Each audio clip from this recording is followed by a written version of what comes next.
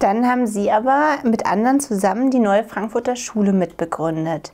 Wie kam es denn dazu? Ja, das war eine Schulgründung, war es eigentlich gar nicht. Es kam dann die, die Gründung von Titanic, das war 79, glaube ich. Ja, das war ja das Organ gewesen von der neuen ja, Frankfurter ja. Schule. Mhm. Und da war noch die, so eine Kerntruppe von, Kromer war da auch dabei, nicht? Äh, von äh, Pardonleuten dabei und Henscheid, Eilert, Knorr, die alle mal da Redaktionsdienst gemacht hatten und die jetzt weiter Redaktionsdienst machten bei Titanic. Äh, und äh, wie kam es zur neuen Frankfurter Schule? Es gibt eine Legende. Also wir, wir selber haben nicht, nichts gegründet. Wir, hatten, wir kannten uns alle und schätzten uns.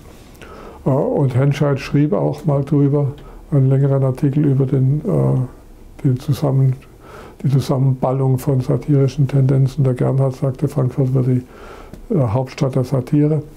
Äh, und dann hat der Wächter in München eine Ausstellung gehabt, in der Galerie Bartsch Chariot, weiß ich noch wie heute. Und da kam ich auch hin. Und da äh, ging's, sollte die Ausstellung einen Titel kriegen.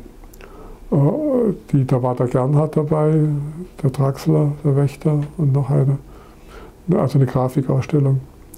Und dann hat der Galerist hat eine alte Tante zu Besuch gehabt, eine Emigrantin, die jetzt wieder Deutschlandbesuch machte. Und die sagt, fragt den der Bub, was hast du für Sorge, sage mal. Und dann sagt er, ich habe drei gute Leute, die eine Ausstellung, wir brauchen noch einen Titel. Also, ja, wie, komm, erzähl mehr. Die kommen aus Frankfurt. Das ist ganz prima, hier guckt es mal an. Dann hat die alte Tante habe gesagt, so erzählte er es und so glaube ich die Legende gerne, sagt, ist doch alles kein Problem. Ich habe bei der alten Frankfurter Schule studiert. Sie war Adorno und Horkheimer Studentin. Und dann ist das die neue Frankfurter Schule. Zack, das galt und das war, so hieß die Ausstellung damals. Und das hat langsam übergegriffen auf alle anderen Produktionen. Es gab wenig gemeinsame Produktionen. Jeder konnte mit jedem was machen. Und in der Titanic gab es auch die Zusammenarbeit. Man konnte, es gibt so ein Soziologenspiel, Sozialpsychologie spielen, man setzt sich im Kreis herum, wer mit wem kann äh, und wer, wer wen mag. Und man hätte hier alle Verbindungen machen können, Henscheid, Knorr, Gernhardt, Wächter. Jeder hat mit jedem mal was gemacht. Also es gab keine Konkurrenz der satirischen Intellektuellen. Gut, wir wollten einander überbieten natürlich und immer noch besser sein.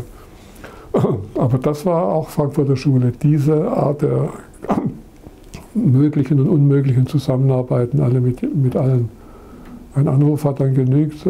Da gab es die große Zusammenarbeit, gab es mal, als der Draxler für Kohl, der damals da war, die Birne erfunden hat. Und da gab es Birnebücher, Birneartikel, da hat jeder dazu beigetragen. Und das ging auch sehr lang gut, zwei Jahre lang. Kohl war Birne. Und dann ist das aber ganz attraktiv gestorben, dieses Birne-Motiv, das satirische, kritische, weil die junge Union im Hessischen hat bei der Landtagswahl die Birne als Eigenwerbung genommen. Und da konnte man es nicht mehr benutzen. Das war sehr schlau von denen natürlich.